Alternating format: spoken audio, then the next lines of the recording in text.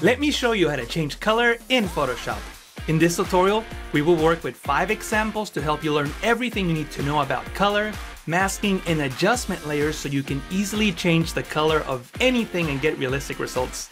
Check out the link in the description to download the images for this tutorial. Before we start, I would like to thank our sponsor MSI. I will work with the Creator Z16 laptop designed for creators. It works great with Adobe applications like Photoshop Check out the link in the description to learn more about the Creator Z16. This is the first document that we will work with. It contains two layers, a photo of a room and a yellow circle, which is the color that we're going to reference for the color match. The goal in this example is to apply this yellow color to the couch. Before we get into that, we need to understand an essential concept about how color works inside the HSB color system. If you double click on the foreground color, the color picker will come up and you will be able to select any color you want. When you drag over the color gradient or the hue slider, you will notice that the values in the HSB boxes change depending on the color you select. HSB stands for hue, saturation, and brightness, the three color components we need to understand to complete this advanced color matching technique. Hue is what color something is. Is it orange, green, blue, magenta, or red? Saturation is the intensity of that color, a vibrant red, or a completely desaturated gray. And brightness is how light or dark the color is. A combination of these components will make up all the colors that you see in Photoshop. In this example, we will match the hue and saturation of the yellow circle onto the couch. Then we're going to try to match the brightness as close as possible. It's important to note that you cannot match all the three components of the yellow color to the couch because you'll end up with a flat yellow color with no shape or detail. You need all the brightness levels, highlights, midtones, and shadows to give the couch its shape and texture. The first step when changing colors in Photoshop is to make a selection out of the object whose color you're going to change. In this case, the couch. From the toolbar, choose the Object Selection tool. Then, from the Options bar, make sure that you have Object Finder enabled. The object selection uses machine learning technology known as Adobe Sensei to analyze the image and find the main subjects. Then, you can simply hover over the image, the couch will highlight in blue, and you can click to make a selection. If you're in an older version of Photoshop, you can instead use the quick selection tool and click and drag over the couch to select it. You can subtract from the selection if you inadvertently select an area you did not intend to select. I'll use the quick selection tool for that. It's currently enabled. And from the options bar, make sure that object subtract is enabled. Or better yet, you can hold Alt on Windows, Option on the Mac, and click and drag over the areas you would like to deselect. You don't have to be precise, you can always fine tune the mask later. Next, from the Layers panel, click on this icon to create a group. You can name it Color Change. It's always good to name your layers and groups. Then, click on the layer mask icon to create a layer mask based on a selection. We're applying the mask to the group so that only one layer mask can control multiple adjustment layers. If you need to edit the mask, you will only have to do it once. Next, from the new adjustment layer icon, create a solid color fill layer and click on the yellow circle to apply that color. Then press OK. Currently, the yellow solid color fill layer is applying all three color components to the couch. The hue, saturation, and brightness, so it's completely flat. To solve this issue, you can use a blending mode to use the hue and saturation of the yellow color, but keep the brightness values of the couch. From the blending mode dropdown, you'll notice the four blending modes below this line. These blending modes control one or more color components, hue, saturation, color, and luminosity. Select the color blending mode to apply both the hue and saturation of the yellow, but keep the brightness values of the layer below. Next, go into the new adjustment layer icon and create a levels adjustment layer to control the brightness of the couch. From the properties panel, you can use these five sliders to adjust the brightness values. Use the highlight slider to brighten the couch, and the gamma slider, this midpoint slider, to increase the contrast. If you made an intense highlight on the cushions, you could drag the white point slider to the left to reduce it. This white point controls the brightest pixel of the image. If you drag it to the left, the brightest point will now be a light gray and not white. And as simple as that, we've made the couch yellow. Now let me show you why I didn't use the hue and saturation adjustment layer for this example. I'll collapse and disable the color change group, then hold Control on Windows, Command on the Mac, and click on the layer mask thumbnail to load the couch as a selection. Then I'll create a hue and saturation adjustment layer. I'll adjust the hue slider to get yellow. Then I'll increase the saturation. And this is where the problem arises. When you adjust the lightness slider to get the brighter yellow, you'll wash out the shadows of the couch, making it look very flat. Even if you click on the colorize checkbox and apply the proper hue and saturation, you will still have the same problem when you adjust the lightness. By splitting the components into two layers, you have complete control over the color and brightness, and you don't lose the shadows on the couch. This does not mean that the hue and saturation adjustment layer is useless. It could be quite useful in some circumstances, as you will see in this tutorial. Now let me show you how to change the color of a shirt to both white and black.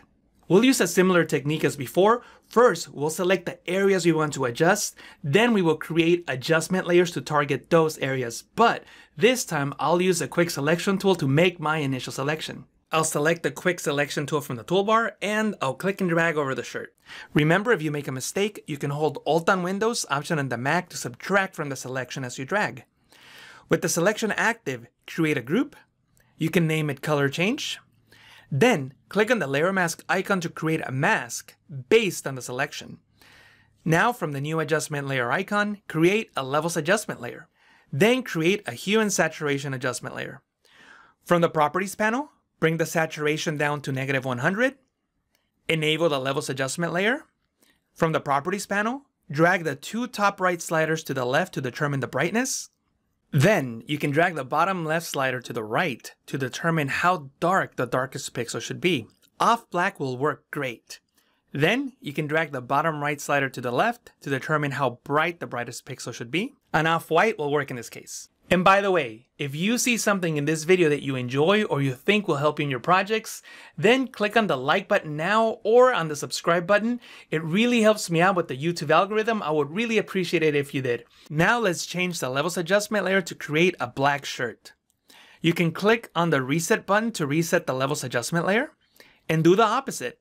Drag the two top left sliders to the right to darken the shirt. Then you can use the two bottom sliders to determine how dark the darkest pixel will be and how bright the brightest pixel will be. With objects such as shirts, you'll rarely have pure black or pure white.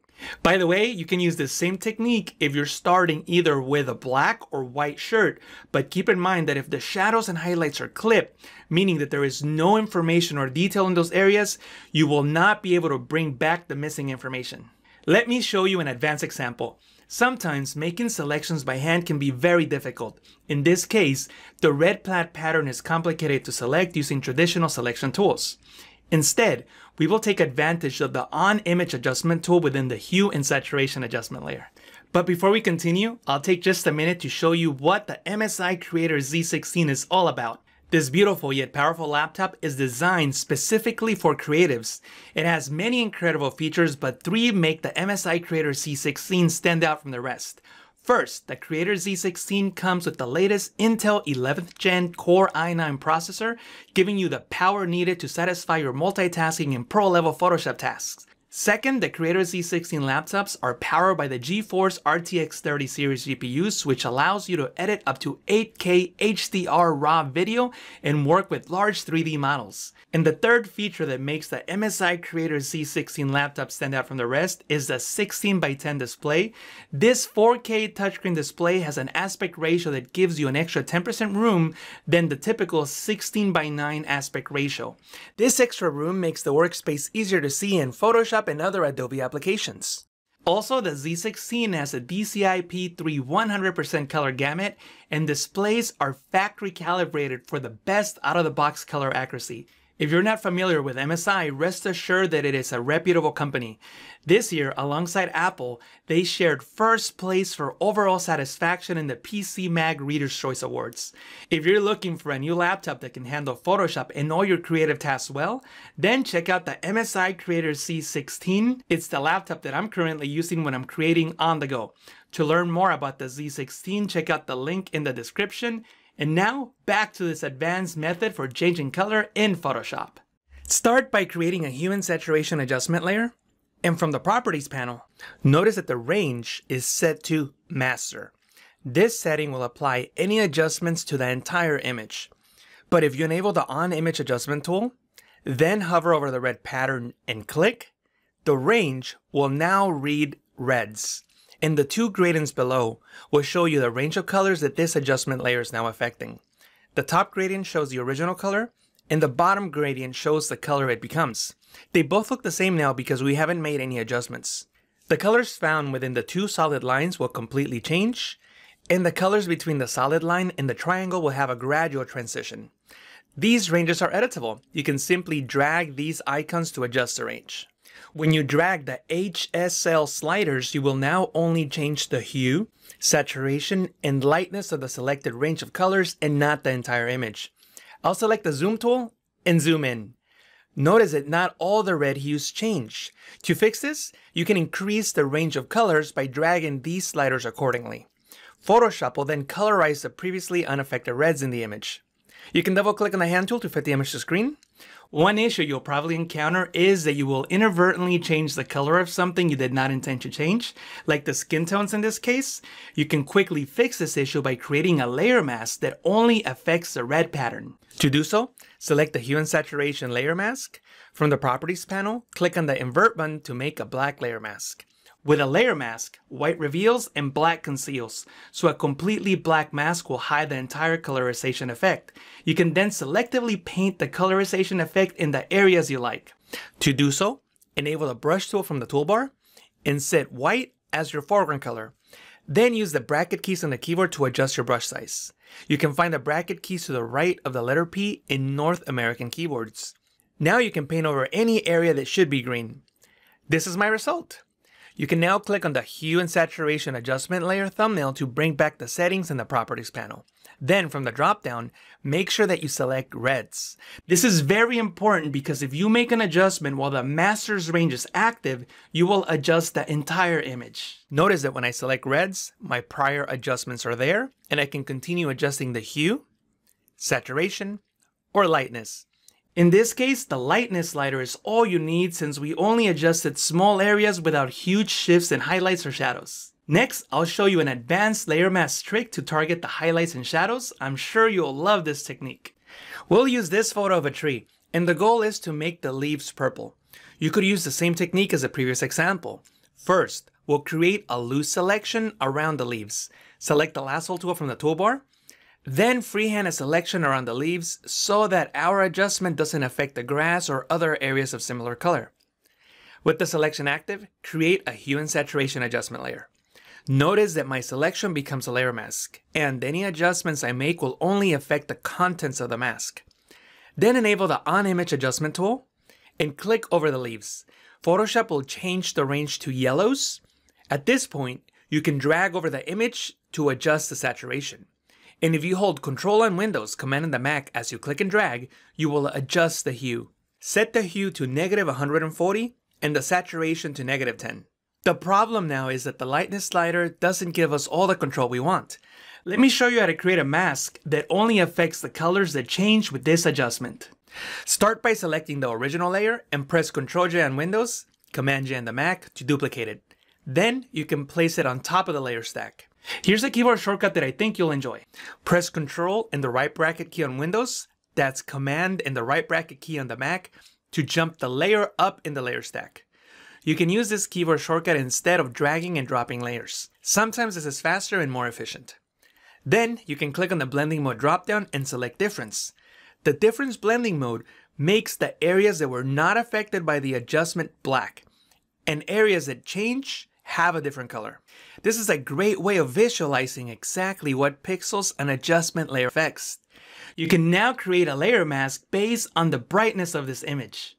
To load the bright pixels as a selection, press Ctrl, Alt, and the number 2 on Windows. That's Command, Option, and the number 2 on the Mac.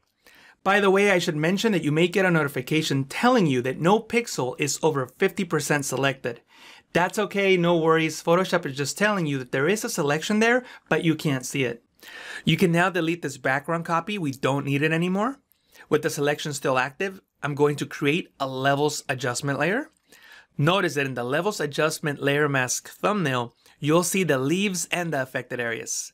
If you hold Alt on Windows, Option on the Mac, and click on the mask thumbnail, you will see the mask. Remember, with a layer mask, white reveals and black conceals. The brighter areas of the mask are targeting the leaves and that's exactly what we want. I'll bring back the regular view by holding Alt on Windows, Option on the Mac, and clicking on the mask thumbnail. Then click on the layer thumbnail and from the properties panel, you can adjust the brightness accordingly using any of these five sliders. Now I'll show you one more advanced technique just in case you need it for your creative projects. This technique will help you with a lot more than changing colors in Photoshop.